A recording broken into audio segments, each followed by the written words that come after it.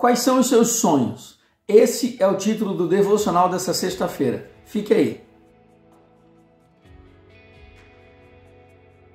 Bom dia, que a graça e a paz de Jesus esteja na tua casa nessa manhã. Mais um devocional para nos tornarmos mais parecidos com Cristo.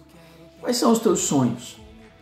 A gente pergunta isso para muita gente. Qual que é o teu objetivo de vida? Qual que é o teu sonho? Muitos nem sabem o que responder.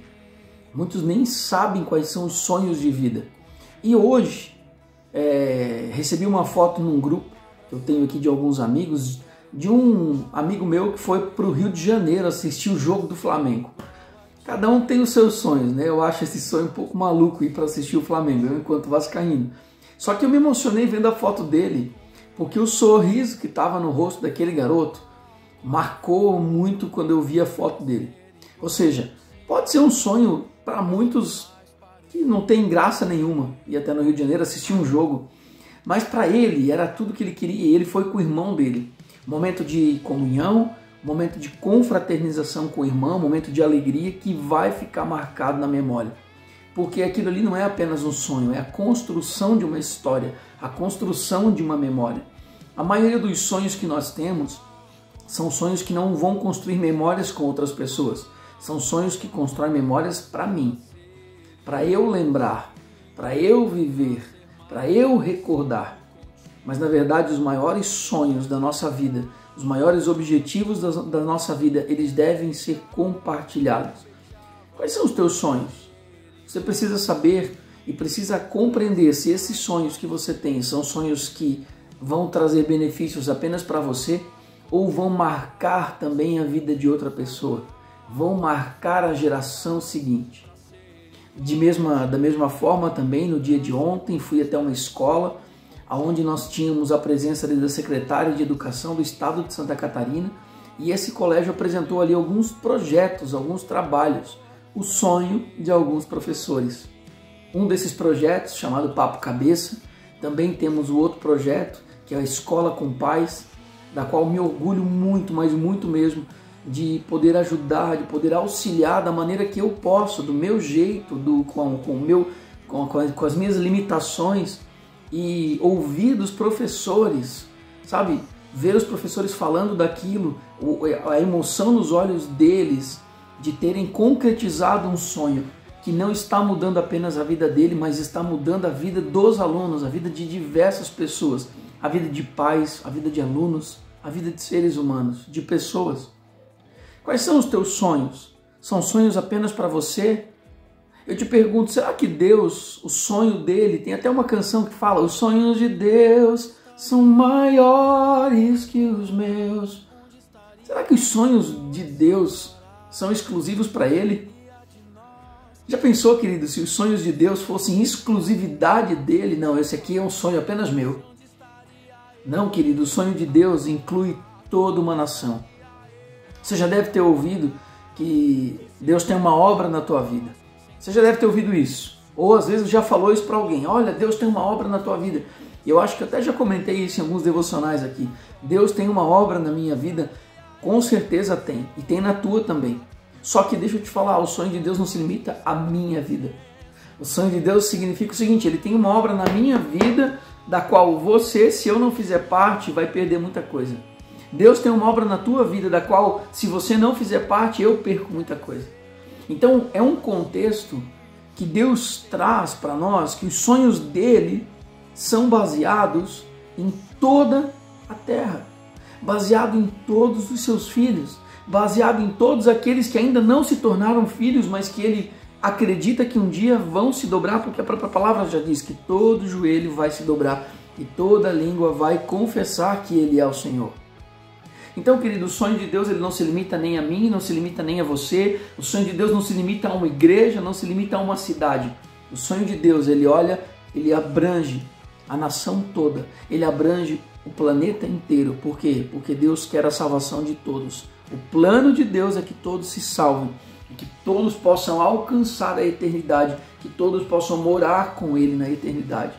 João 3,16 vai dizer assim: olha, porque Deus amou o mundo de tal maneira eu quero ler isso com você, porque ele não amou três ou quatro. Ele amou o mundo de tal maneira, e eu quero ler isso com você em João 3,16, que vai dizer o seguinte: Porque Deus amou o mundo de tal maneira que deu seu Filho para que todo aquele que nele crer não pereça, mas tenha vida eterna. Então, o sonho de Deus é que todos creem em Jesus, que todos tenham a vida eterna. Por isso que ele amou o mundo. Por isso que ele não amou meia dúzia de pessoas, por isso que ele não amou uma igreja, por isso que ele não amou uma denominação, por isso que ele amou o mundo. Ele amou todos, porque o sonho dele é que todos acreditem que Jesus Cristo é o Senhor e Salvador, para que todos possam ter a vida eterna e que eles não pereçam. Por isso tem uma canção que eu quero fazer hoje. Tá fora do script, não era o que eu ia fazer. A gente quer fazer essa canção. É uma canção linda. Diz o seguinte: Preste, preste atenção nessa letra.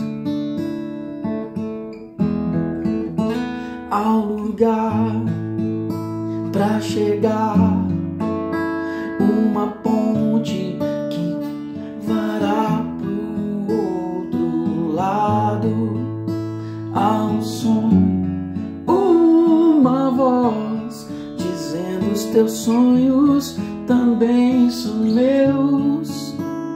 Vou te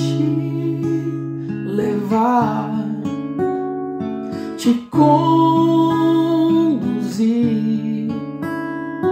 E quando você alcançar, saberá que em todo tempo eu estive ao teu lado.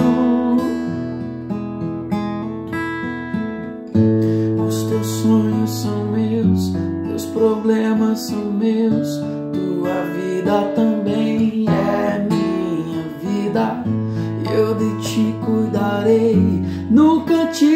deixarei. Os teus sonhos eu realizarei. Só que essa canção, ela está dizendo: os teus sonhos são meus, os teus problemas são meus, os teus planos também são meus. E ela termina dizendo: os teus sonhos eu realizarei. Só que pode ter certeza que os sonhos de Deus ele vai realizar na tua vida. Mas meu desejo, o desejo do meu coração, é que os teus sonhos não se limitem apenas às tuas vontades, mas que os teus sonhos possam abranger pessoas, possam abranger vidas, possam abranger almas, possam abranger que todas essas pessoas alcancem a salvação e conheçam verdadeiramente a Jesus. É muito gostoso nós temos o sonho da casa própria, o sonho de um carro novo, sonho de um violão, por que não? Mas o que leva esse meu sonho, talvez, de eu conquistar o violão? Aonde tem vidas? Qual o propósito? Qual o planejamento de eu ter esse sonho? Sabe, querido, que os nossos sonhos possam sempre estar ligados às vontades de Deus. E a vontade de Deus é que o mundo conheça Jesus, possa crer nele para ganhar a salvação e a vida eterna. Então que o teu sonho possa ter esse elo de ligação. Você comprar uma casa, mas nunca ter comunhão com ninguém, nunca convidar ninguém para ter comunhão naquela casa, para que adiantou aquela casa? Você comprar um carro, mas o irmão da igreja pede uma carona para você para ir no culto, você não dá carona. Para que ter aquele carro? Que esse sonho que você tem dentro do teu coração possa abranger a principal coisa, que é a vontade do Senhor. Amém? Que o teu sonho possa ser usado para que a vontade do Senhor e o plano e o projeto dele se concretize aqui na terra. Amém? Em nome de Jesus, que você tenha uma excelente sexta-feira, um excelente final de semana. Eu vou pescar esse final de semana, vou dar uma descansada. Já tem alguns amigos aí para a gente dar uma descansada e que você também faça projetos para esse final de semana com a sua família, projetos seus e que você possa incluir Jesus nisso. Amém? Que você tenha um excelente final de semana com a graça do Senhor Jesus. Semana que vem estaremos aqui novamente, se assim for permitido pelo Senhor. Amém? Um grande abraço.